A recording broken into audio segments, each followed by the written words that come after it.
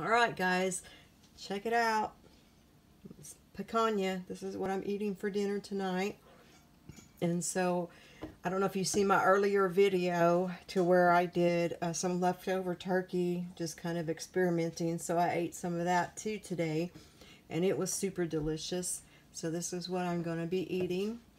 Yummy. I absolutely love picanha. My one favorite steak is ribeye. My second favorite is picanha.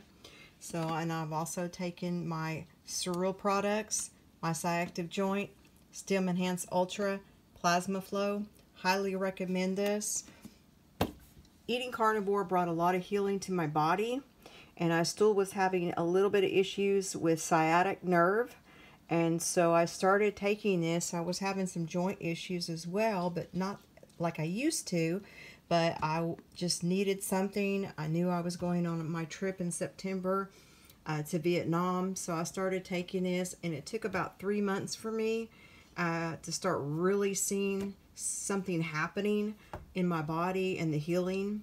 So when I went to Vietnam, flying, one of the um, flights was like 14 hours long, and then all that I did while I was over there.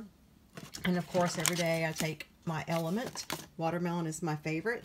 So anyway, y'all remember, meat heals, sugar kills.